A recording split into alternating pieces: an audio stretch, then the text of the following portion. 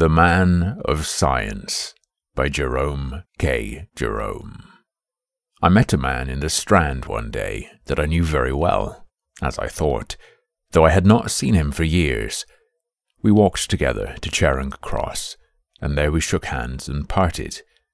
Next morning, I spoke of this meeting to a mutual friend, and then I learnt, for the first time, that the man had died six months before.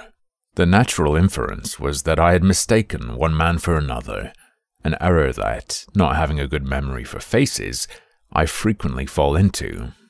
What was remarkable about the matter, however, was that throughout our walk I had conversed with the man under the impression that he was that other dead man, and, whether by coincidence or not, his replies had never once suggested to me my mistake. As soon as I finished, Jephson, who had been listening very thoughtfully, asked me if I believed in spiritualism to its fullest extent. That is a rather large question, I answered. What do you mean by spiritualism to its fullest extent? Well, do you believe that the spirits of the dead have not only the power of revisiting this earth at their will, but that, when here, they have the power of action, or rather, of exciting to action? Let me put a definite case. A spiritualist friend of mine, a sensible and by no means imaginative man, once told me that a table, through the medium of which the spirit of a friend had been in the habit of communicating with him, came slowly across the room towards him, of its own accord, one night as he sat alone, and pinioned him against the wall. Now, can any of you believe that, or can't you? I could. Brown took it upon himself to reply, but before doing so, I should wish for an introduction to the friend who told you the story. Speaking generally, he continued, it seems to me that the difference between what we call the natural and the supernatural is merely the difference between frequency and rarity of occurrence. Having regard to the phenomena we are compelled to admit, I think it illogical to disbelieve anything we are unable to disprove. For my part, remarked MacShaughnassy, I can believe in the ability of our spirit friends to give the quaint entertainments credit to them, much easier than I can in their desire to do so. You mean, added Jephson, that you cannot understand why a spirit, not compelled as we are by the exigencies of society, should care to spend its evenings carrying on a labored and childish conversation with a room full of abnormally uninteresting people. This is precisely what I cannot understand, MacShaughnassy agreed. Nor I either, said Jephson, but I was thinking of something very different altogether. Suppose a man died with the dearest wish of his heart unfulfilled. Do you believe that his spirit might have power to return to earth and complete the interrupted work? Well, answered MacShaughnassy, if one admits the possibility of spirits retaining any interest in the affairs of this world at all, it is certainly more reasonable to imagine them engaged upon a task such as you suggest than to believe that they occupy themselves with the performance of mere drawing room tricks. But what are you leading up to? Why, to this, replied Jephson, seating himself straddle legged across his chair and leaning his arm upon the back. I was told a story this morning at the hospital by an old French doctor. The actual facts are few and simple, all that is known can be read in the Paris police records of 62 years ago. The most important part of the case, however, is the part that is not known, and that never will be known. The story begins with a great wrong done by one man unto another man. What the wrong was, I do not know. I am inclined to think, however, it was connected with a woman. I think that, because he who had been wronged hated him who had wronged him with a hate such as does not often burn in a man's brain, unless it be fanned by the memory of a woman's breath. Still, that is only conjecture, and the point is immaterial. The man who had done the wrong fled, and the other man followed him. It became a point to point race, the first man having the advantage of a day's start. The course was the whole world, and the stakes were the first man's life. Travellers were few and far between in those days, and this made the trail easy to follow. The first man, never knowing how far or how near the other was behind him, and hoping now and again that he might have baffled him, would rest for a while. The second man, knowing always just how far the first one was before him, never paused, and thus each day the man who was spurred by hate drew nearer to the man who was spurred by fear. At this town, the answer to the never varied question would be, At seven o'clock last evening, monsieur. Seven, ah, eighteen hours. Give me something to eat, quick, while the horses are being put to. At the next, the calculation would be sixteen hours. Passing a lonely chalet, Monsieur puts his head out of the window. How long since a carriage passed this way with a tall, fair man inside? Such a one passed early this morning, monsieur. Thanks. Drive on. A hundred francs apiece if you are through the pass before daybreak. And what for dead horses, monsieur? Twice their value when living. One day, the man who was ridden by fear looked up and saw before him the open door of a cathedral and, passing in, knelt down and prayed. He prayed long and fervently, for men, when they are in sore straits, clutch eagerly at the straws of faith. He prayed that he might be forgiven his sin, and, more importantly still, that he might be pardoned the consequences of his sin and be delivered from his adversary. And a few chairs from him, facing him, knelt his enemy, praying also. But the second man's prayer, being a thanksgiving merely, was short, so that when the first man raised his eyes, he saw the face of his enemy gazing at him across the chair tops with a mocking smile upon it. He made no attempt to rise, but remained kneeling, fascinated by the look of joy that shone out of the other man's eyes. And the other man moved the high backed chairs one by one and came towards him softly. Then, just as the man who had been wronged stood beside the man who had wronged him, full of gladness that this opportunity had come, there burst from the cathedral tower a sudden clash of bells and the man whose opportunity had come broke his heart and fell back dead, with that mocking smile still playing round his mouth. And so he lay there. Then the man who had done the wrong rose up and passed out, praising God. What became of the body of the other man is not known. It was the body of a stranger who had died suddenly in the cathedral. There was none to identify it, none to claim it. Years passed away, and the survivor in the tragedy became a worthy and useful citizen, and a noted man of science. In his laboratory, there were many objects necessary to him in his researches, and prominent among them stood in a certain corner a human skeleton.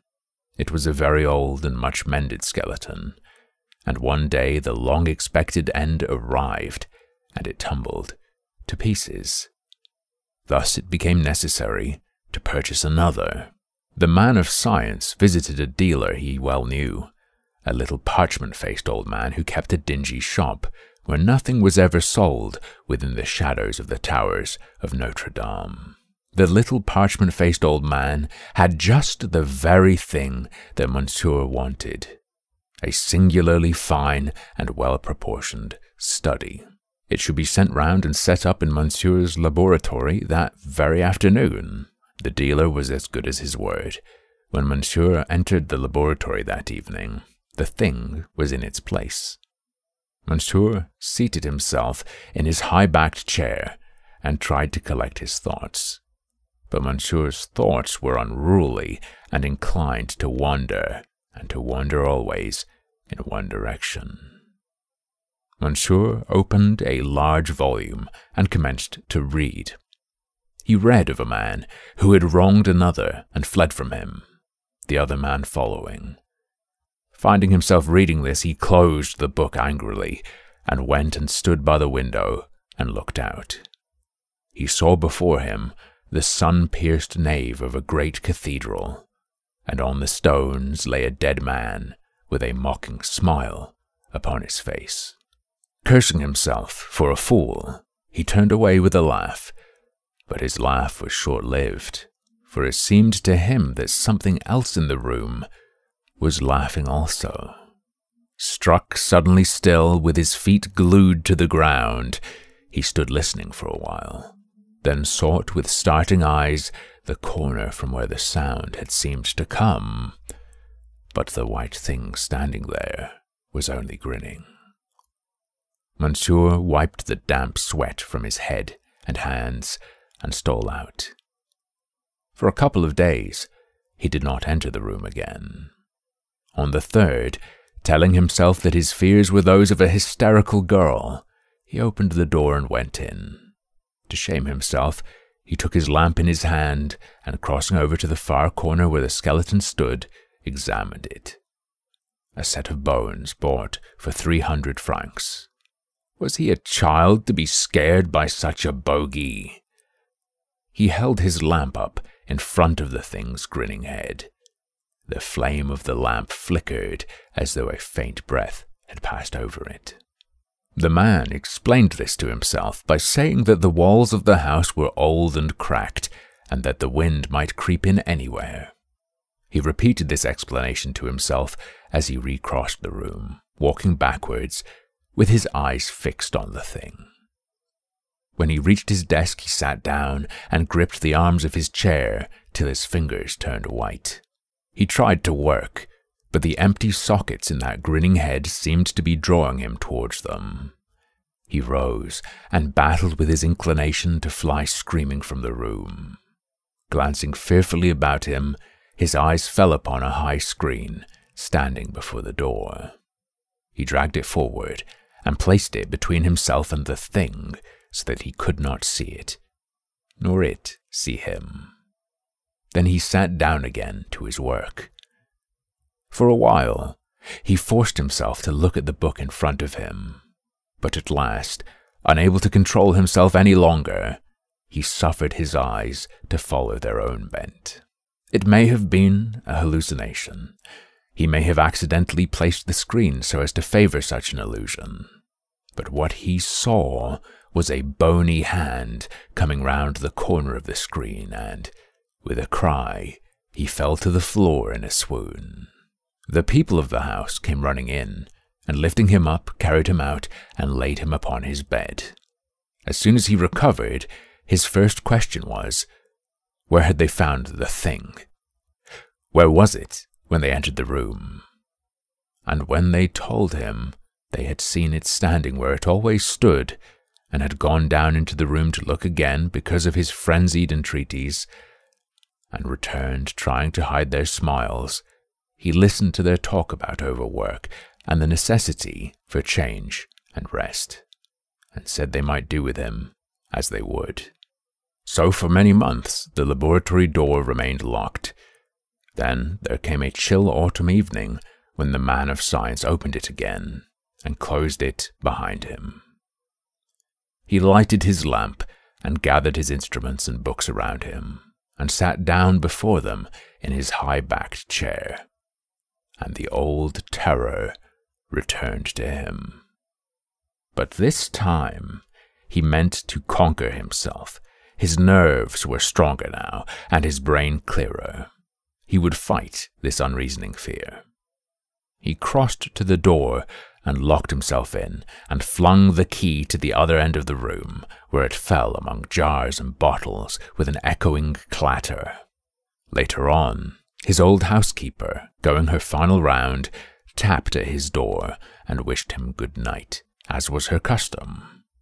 She received no response at first, and, growing nervous, tapped louder and called again. And at length an answering good night came back to her. She thought little about it at the time, but afterwards she remembered that the voice that had replied to her had been strangely grating and mechanical. Trying to describe it, she likened it to such a voice as she would imagine coming from a statue. Next morning, his door remained still locked. It was no unusual thing for him to work all night and far into the next day, so no one thought to be surprised. When, however, evening came, and yet he did not appear, his servants gathered outside the room and whispered, remembering what had happened once before. They listened, but could hear no sound.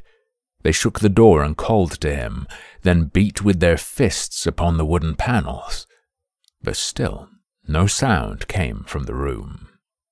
Becoming alarmed, they decided to burst open the door, and, after many blows, it gave way and they crowded in.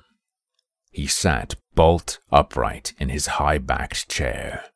They thought at first he had died in his sleep, but when they drew nearer and the light fell upon him, they saw the livid marks of bony fingers round his throat, and in his eyes there was a terror such as is not often seen in human eyes. Brown was the first to break the silence that followed. He asked me if I had any brandy on board. He said he felt he should like just a nip of brandy before going to bed. That is one of the chief charms of Jephson's stories. They always make you feel you want a little brandy.